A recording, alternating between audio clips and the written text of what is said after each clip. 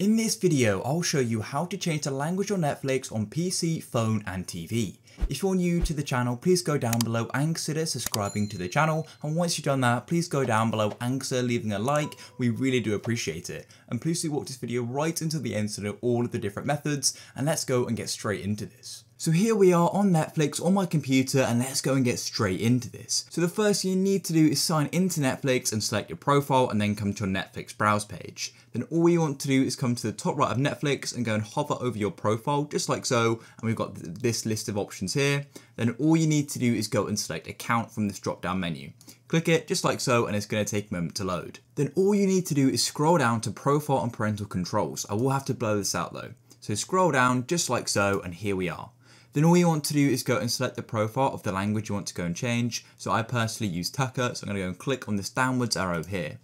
Then it's going to go and give a bit of information like a profile email, but then we've got language. And then all we want to do is go and press on change just here. And then it's going to go and take us to a page where we can go and change the language. We can go and change the display language and also the language of programs and films. So go and change it to whatever language you like. For example, I'm just going to go and select English again. And then all you need to do is scroll right to the bottom and go and click save. Then as you can see, it's going to go and save it and you're going to go get this tick here saying language saved. Now let's go and hop into our mobile. So here we are on my phone on Netflix. Now at the moment you can't go and do this in the Netflix app, so you need to go and close off of it and you need to go into your web browser.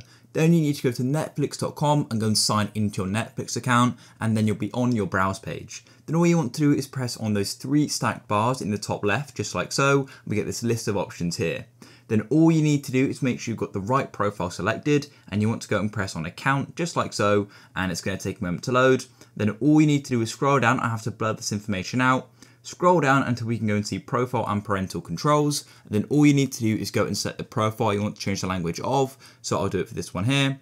Click on it, click on the downwards arrow, and then you're going to see language at the minute set to English, but you can go and click on change, then it's going to go and load and then you can go and choose the display language and also the programs and films languages. Go and click on the um, language you want, like for example, then scroll right to the bottom, go and click save, and then it's going to go and update it. It says language saved. And now for changing the language on Netflix on your TV, it's actually easier to go and do it on a mobile or desktop device, just like I've shown you. So I'd recommend just going skipping back and checking out the desktop or the mobile version, depending on which you want to go and use. And then once you go and sign into Netflix on your TV, the language will then go and be reflected.